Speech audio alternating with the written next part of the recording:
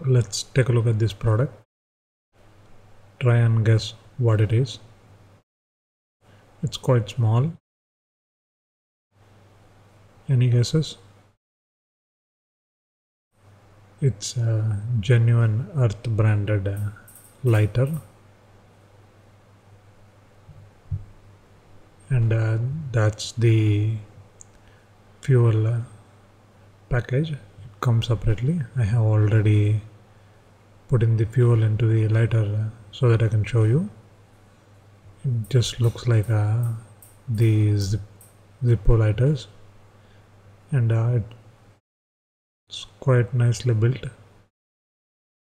It even has the clank that uh, the Zippo makes.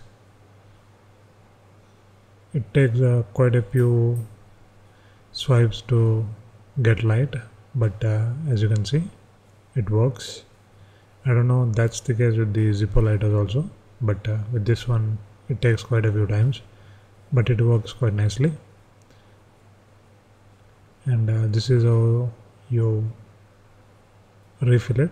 You open the back and uh, that's piece of cotton. You have to lift it up.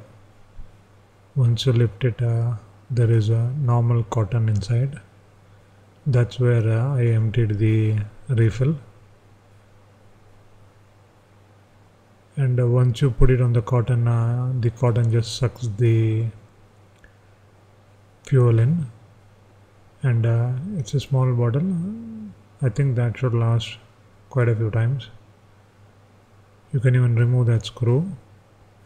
And uh, once it's filled just put it in the packaging or the case and uh, in you need to pull the lever to get the closing action. Just pull it back and then close. Now it closes with a clicking sound.